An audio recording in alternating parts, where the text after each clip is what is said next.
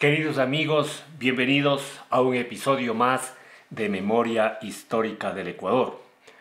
Hoy para abordar el tema de la masacre del 2 de agosto de 1810. Para empezar a reflexionar sobre esta temática, recordemos la parte final del capítulo anterior en que habíamos señalado justamente la conformación de la Junta Suprema de Quito el 16 de agosto de 1809, es decir, seis días después de haberse propiciado el primer grito de independencia. Como les decía, recordemos que aquella junta quedó eh, presidida por Juan Pío Montúfar, marqués de Selva Alegre, con el título de Alteza Serenísima. Los ministros con el título de Su Excelencia, por ejemplo, ministro de Negocios y Guerra, eh, Juan de Dios Morales, ministro de Gracia y Justicia, Manuel Rodríguez de Quiroga, ministro de Hacienda, Su Excelencia Juan Larrea, auditor general de guerra, Su Señoría el Teniente Coronel Juan Pablo Arenas, también representantes de los barrios de San Blas, de San Roque, de San Marcos, de la Catedral, por supuesto, que es el centro de la ciudad, Santa Bárbara y San Sebastián. El doctor José Javier de Ascasubi, con el título de Usía Ilustrísima, era gobernador del Senado y regente de la Sala de lo Civil. Como les digo, compañeros, todos los miembros de esta Junta Suprema de Gobierno utilizaron la misma terminología cual sí de la monarquía.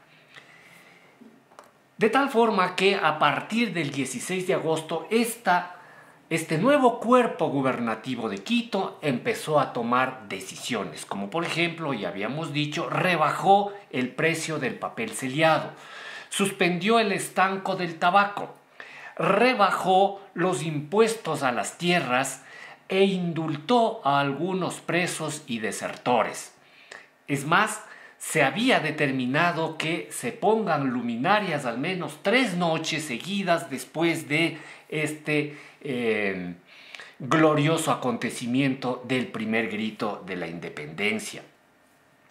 Una cosa que hay que señalar es que todos estos miembros de la Junta Suprema aprovecharon inmediatamente sus cargos para posicionar en altos cargos gubernativos, especialmente en otras provincias, a sus familiares, a sus amigos. Es decir, nada era tan patriótico como uno se pudiera pensar. De hecho, habían intereses creados.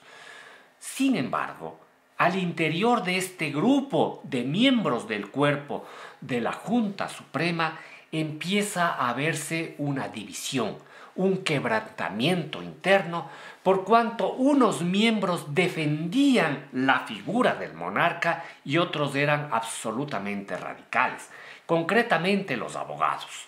Claro, quienes están a favor de la figura del monarca van a ser los nobles, estoy hablando por ejemplo, de Juan Pío Montúvar, el presidente.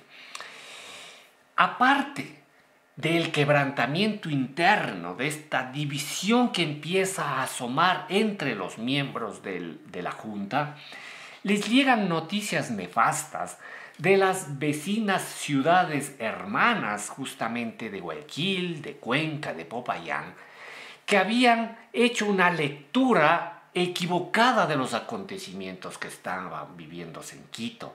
Habían juzgado como actos sediciosos contra la monarquía.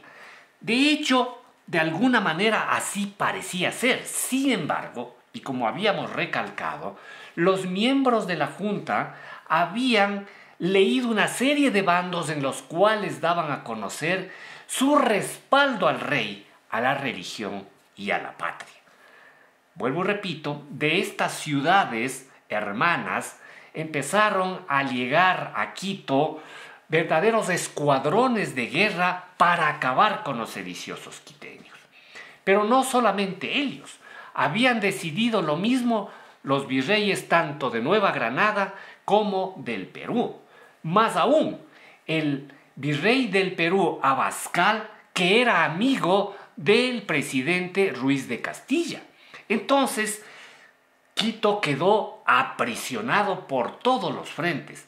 No solo recibió el rechazo de las ciudades hermanas de la Real Audiencia, sino también de los virreinatos vecinos, de tal forma que eh, a la Junta quiteña no lo quedó otra cosa que también organizar a último rato unas guarniciones armadas, unas falanges que vayan justamente a contrarrestar a aquellas fuerzas armadas que estaban viniendo en su contra. Caso concreto, aquella que va a Popayán, por estar muy cercana al virreinato de Nueva Granada, en esta falange va, por ejemplo, el cura Río Frío y es muy interesante descubrir a través de unas ocho cartas que él escribe del fracaso de la misión armada quiteña en tierras del norte. Quito literalmente está rodeado. Le están cerrando la pinza por todos los lados y de forma cruenta, salvo algunas ciudades más cercanas a la capital, que es Quito, que sí le respaldan, pero solamente, solamente aquellas. Estoy hablando desde Alausí, Riobamba, Ambato, La Tacunga, Ibarra. El resto, fuera de esta jurisdicción, están contra Quito. Empieza, como les digo, un quebrantamiento interno de los miembros de la Junta, aquella convicción inicial se va resquebrajando y de hecho empiezan a mostrarse en ciertas dubitaciones. Uno de aquellos es, por ejemplo, el coronel Juan de Salinas, quien empieza a tener ciertas conversaciones con el expresidente Ruiz de Castilla en el sentido de retomar los antiguos cauces. De hecho, esto puede leerse como un acto de traición para los miembros de la Junta. Lo cierto es que, tan cercados como estaban los quiteños, de tropas armadas que les venían encima no solo de las ciudades hermanas, sino de los dos virreinatos vecinos, es que empieza a flaquear el convencimiento inicial con el que iniciaron. Juan Pío Montúfar llega un momento en que renuncia. No habían pasado dos meses. Y el momento que renuncia el presidente de la Junta, justamente, vuelvo, repito, por todos estos acontecimientos negativos que se estaban suscitando, hay un amotinamiento popular en el cual salen a la cabeza justamente los abogados Juan de Dios Morales, Manuel Rodríguez de Quiroga, para apacientar a la muchedumbre. De todas formas, están conscientes que la lucha es desigual, que se les viene encima todo mundo y que ellos están íngrimos tratando de sacar adelante un proyecto político, de tal forma que buscan una salida. Y se propone, por ejemplo, candidatos que reemplacen al antiguo presidente, en este caso renunciante Juan Pío Montúvar. Hay quien propone al doctor José Javier de Ascasubi, los abogados proponen más bien a el alcalde Juan José Guerrero, que es marqués de Selva Florida. ¿Por qué? Porque también se sigue manteniendo la figura de los pocos, de los nobles en el gobierno. Es decir, sin quebrantar aquel, aquella ideología inicial de legalidad de la Junta. Entonces, los abogados apoyaron a que todos respalden más bien a Juan José Guerrero y este, una vez que es aceptado, el 15 de octubre asume el cargo y jura lealtad a la patria. Pues bien, el 24 de octubre, no pasó sino poquísimos días, Juan José Guerrero lo que hace más bien es devolver el poder al conde Ruiz de Castilla. Abdica a favor del antiguo presidente, firmando una acta transaccional en la cual se estipulaban los siguientes aspectos. Primero, que se mantenga la Junta, aunque de forma provisional, pero sujeta y subordinada a la central española. Es decir, que se mantenga la Junta en todo caso. Que el presidente, que el nuevo presidente de la Junta sea eh, Ruiz de Castilla, el antiguo presidente de la audiencia. Por otro lado, que no se tome represalias con todos aquellos que habían formado parte de la Junta Suprema de Gobierno. No es sino el 29 de octubre que Ruiz de Castilla asume nuevamente el poder. Es presidente de la Junta, pero él asume también el sillón presidencial que él ocupaba antiguamente de la Real Audiencia. No pasa nada los siguientes días. Noviembre, todo tranquilo, se devuelve el poder, todos aquellos eh, miembros que formaron parte de la Junta están devolviéndose a sus antiguas actividades, se está retomando la paz, todo parecía volver a una calma normal. Sin embargo, a finales de noviembre empiezan a llegar unas tropas armadas de Lima, los famosos pardos de Lima. ¿Qué significaba aquello? Que, desde el primer momento que fue expulsado de Palacio el presidente Ruiz de Castilla, había enviado cartas pidiendo auxilio a su amigo, el virrey Abascal, para que le envíe tropas. ¿Por qué? Porque la fuerza armada que tenía aquí en Quito se había pasado a la facción contraria. Entonces, vuelvo y repito, a finales del mes de noviembre de 1809 están llegando ya las tropas eh, de Lima enviadas por Abascal. En esa medida, el presidente Ruiz de Castilla rompe el pacto, no hay tal eh, respeto a las autoridades antiguas que formaron la Junta Suprema de Gobierno y estos milicianos son ordenados de inmediato a una captura de todos aquellos miembros que formaron parte de la Junta. Y se vuelve realmente una verdadera cacería a todos aquellos que estaban confiados ya en sus actividades normales, de la noche a la mañana aparecen ah, apresados.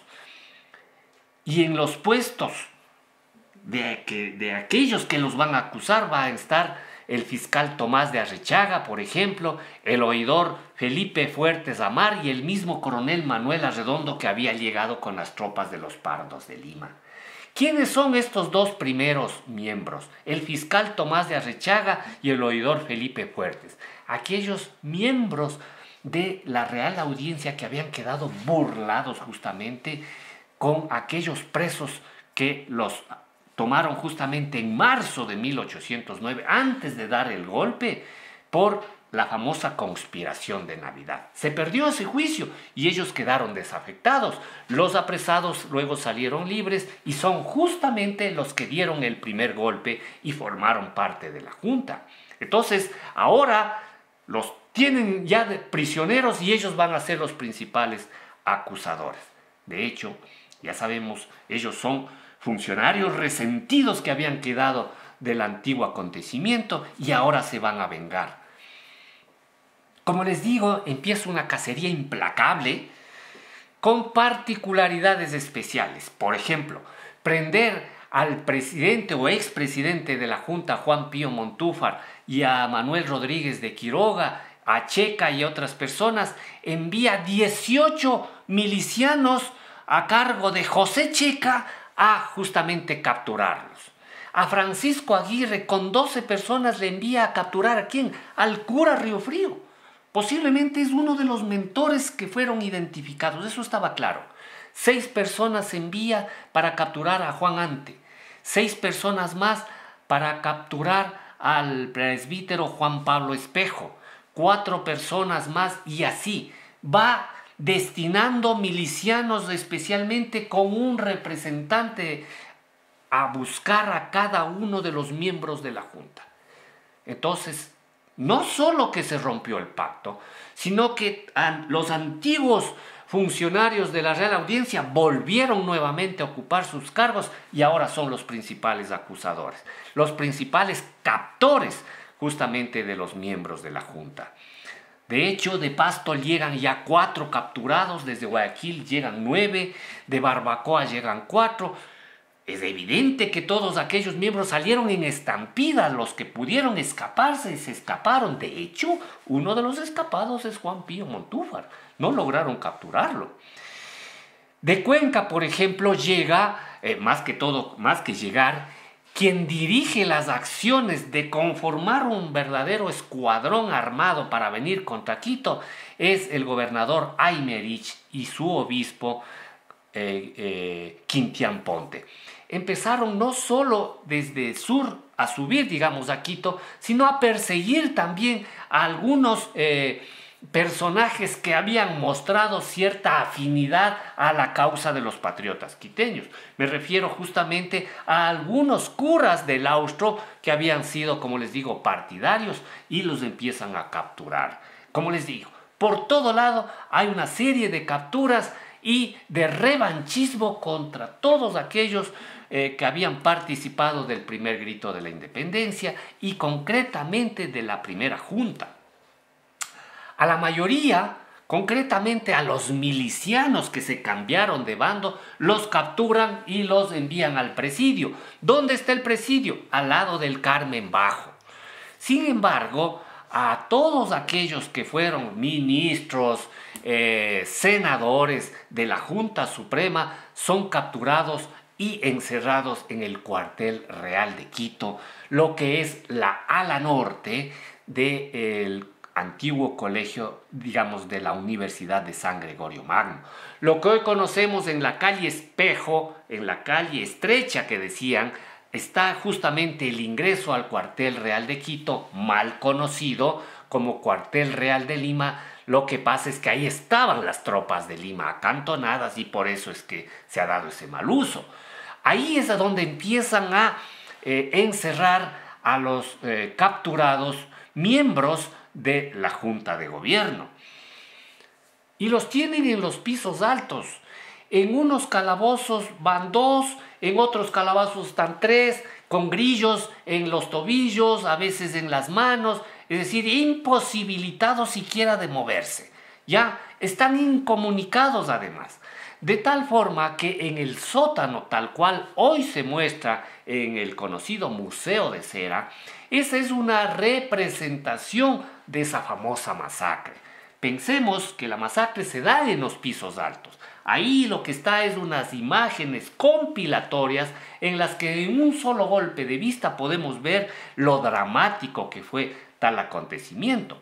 No queremos decir que ahí no hayan habido también. Sí, es posible que hayan estado arrestados algunos presos también, pero la mayoría estaban en los pisos altos. El momento que son capturados empieza inmediatamente las judicializaciones, se les empiezan los autos de procesos y como les digo, estos funcionarios de la antigua Real Audiencia son aquellos que van a tomarles justamente las declaraciones, hacerles las debidas acusaciones. ¿Cuál es la acusación? La de lesa majestad, la de haber traicionado al monarca, de haberse ido contra la soberanía del Estado. Lo que están buscando es vengarse. Es por supuesto, hay un quebrantamiento moral que tratan de hacer con los presos de tal forma que a cada uno les hacen entrevistas y declaraciones aparte, sin que se escuche nadie. Es decir, nadie sabía qué decía el otro, si estaba acusando al uno o al otro compañero. Lo que sí todos coinciden es que decían defender a la religión, a la patria y al rey, que todo lo que habían hecho era legal, que habían conformado una junta en Quito tal cual como la tenían también en España de eso no se arrepentían. Sin embargo, todos estos juicios demostraban que estaban amañados, que se traían, eh, digamos, testigos falsos. La idea era realmente acabar moralmente con los, eh, con los apresados. Eh, y eso permite que a la larga les infundan miedo. De hecho, siempre las proclamas eran una de esas, ya les matamos a los presos y gritaban en los patios eh, la soldadesca peruana, ¿no? Ya vamos a acabar con estos. Y claro, era, eh, digamos, una cuestión psicológica de merma moral que estaban haciendo con los implicados. Y claro, pasaban los meses porque esto sucedió los últimos, eh, las últimas semanas de 1809 y los primeros meses de 1810 están encerrados, enjuiciados, que les hacen declaraciones por separado, están incomunicados literalmente. Sin embargo, las autoridades, con Luis de Castilla a la cabeza, se enteran que la Junta de Regencia de España, el Consejo de Regencia, había ya enviado a Carlos Montúfar al pacificador de Quito, porque esta bomba ya llegó la noticia a, España de que Quito había dado el primer grito de independencia el 10 de agosto de 1809. Por tanto, envían a quien es el hijo de quien fue el presidente de Juan Pío Montúfar. Eso les pone nerviosos y deciden que hay que sentar, digamos, dictar sentencia cuanto antes, antes de que llegue el, eh, el pacificador. Eh, Arrichaga al menos llega a, juzgar con sentencia de muerte a 47 de los presos y al resto destierros, confiscaciones de bienes, es decir, una serie de eh, juzgamientos que se empieza a hacer de inmediato, al, al, momento que se escucha de la llegada de Carlos Montúfar. Pero él tiene que llegar primero al virreinato de Nueva Granada, que es al, a la jurisdicción a la que pertenecía la Real Audiencia de Quito, para luego llegar acá. Y claro, pensemos en aquella época, esos viajes demandaban muchas, muchas semanas. Sin embargo, de este juzgamiento que hacen los miembros de la Real Audiencia de Quito, el presidente determina que es mejor que quien juzgue sea el virrey de Nueva Granada. Y entonces todos esos miles de procesos de papeles que habían hecho a cada uno de los presos, los juntan y los envían para su juzgamiento al virrey de, de Santa Fe de Bogotá. Sin embargo, los pardos de Lima, los que están a cargo aquí con las milicias, que son enviados justamente de Abascal, del virrey peruano, están haciendo de las suyas en Quito.